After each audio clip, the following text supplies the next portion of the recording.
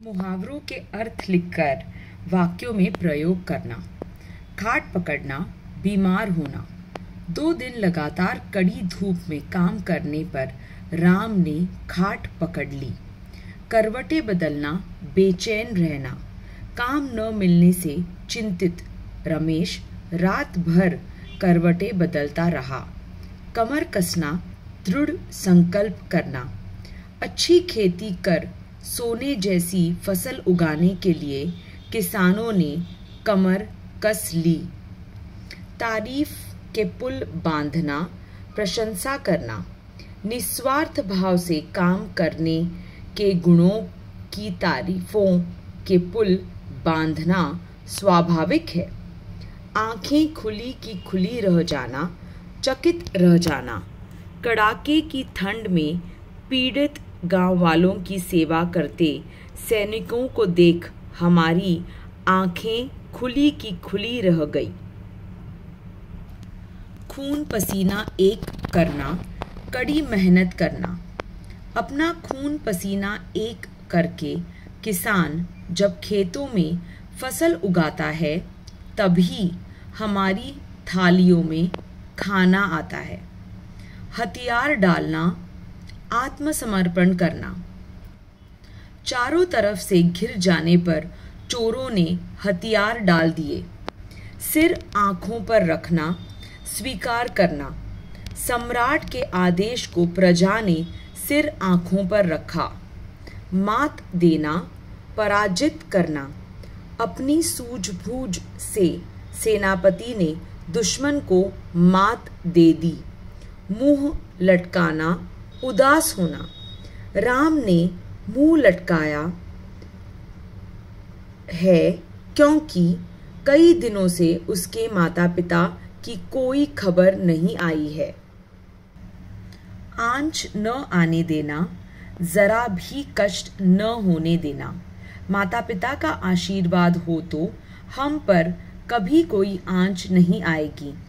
मेरे भाइयों ने खूब तकलीफें झेली, पर मुझ पर कभी कोई आँच न आने दी। लोहा मानना महत्व का, महत्व या श्रेष्ठता स्वीकार करना। मेरे नाना जी ने गाँव की भलाई और प्रगति के लिए जो कार्य किए हैं, उस वजह से लोग आज भी उनका लोहा मानते हैं। मेरी इस योजना की वजह से गरीब जनता को जो सहायता मिली है, उस कारण लोग मेरा लोहा मानते हैं।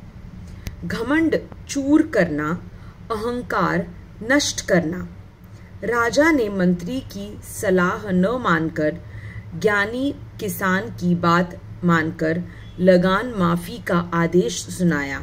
इससे मंत्री का घमंड चूर हो गया। अपने पैसे का रोब दिखलाती महिला ने जब साधारण बालिका को पाठशाला में अधिक मान सम्मान मिलते देखा तो उसका घमंड चूर हो गया। रंगे हाथ पकड़ना, अपराध करते हुए प्रत्यक्ष पकड़ना। शाम को माँ ने जब शरारत करते रंगे हाथ पकड़ा, तब शाम का चेहरा शर्म से लाल हो गया। दरोगा के द्वारा रंगे हाथों पकड़े जाने पर राम ने अपना गुनाह स्वीकार कर लिया। हामी भरना, स्वीकार करना। सैर पर जाने के लिए पिताजी ने हामी भरते ही हम सब तैयारियों में व्यस्त हो गए। दादाजी अक्सर पिताजी की हर योजना और निर्णय की हामी भरते हैं। अपने पैरों पर कुल्हाड़ी मारना। खुद अपना नुकसान कराना। अपने बड़ों की बातों और सलाहों को अनसुना करके हम अपने पैरों पर खुद ही कुल्हाड़ी मारते हैं। दादाजी कह, कहते हैं, वक्त के साथ नहीं बदलोगे तो खुद अपने पैरों पर कुल्हाड़ी मार लोगे। घोड़े बेचकर सोना, निश्चिंत होकर सोना। आखिरी पेपर हो जाने पर भरत घर आकर घोड़े बेचकर सो गया। हमारे पाठशाला का चपरासी अक्सर भरी दोपहर में घोड़े बेचकर सो जाता है। नीचा दिखाना, अपमानित करना। राधा ने शाम से कहा, किसी भी व्यक्ति को उसकी आर्थिक परिस्थिति की वजह से नीचा दिखाना, यह शिक्षित व्यक्तियों का को शोभा नहीं देता। भाभी अक्सर अपने से कम शिक्षित देवरानी को नीचा दिखाती है। आवाक खड़ा रहना, अचंभित हो जाना। अचानक सामने लोमड़ी को देखकर किसान अवाक खड़ा रह गया। छोटे बच्चों की मासूम बातें सुनकर हम अक्सर आवाक खड़े रह जाते हैं। आपे से बाहर होना, बहुत क्रोधित होना। शाम को इतनी सफ़ाई से झूठ बोलता देख। उसके पिता आपे से बाहर हो गए। पाठशाला में बड़े बच्चों ने छोटे छात्रों को सताया और उनकी पिटाई की। यह बात सुनकर प्राचार्य आपे से बाहर हो गए। काफुर होना, गायब होना। राम बूढ़े आदमी के सारे पैसे लेकर काफुर हो गया। शाम पता नहीं क्यों कल रात से ही काफुर है।